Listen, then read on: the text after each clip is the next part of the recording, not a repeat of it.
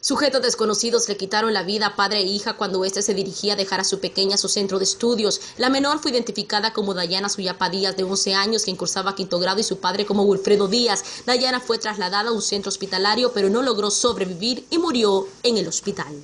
Copeco informó que en lo que resta del 2015 solo hay lluvia para unos 25 días producto del cambio climático. Los primeros cinco días serán en esta semana y luego se va a registrar una fase negativa desde el 7 al 14 de septiembre. Los expertos consideran que las consecuencias se presentan como el cuarto fenómeno más severo desde el año de 1950.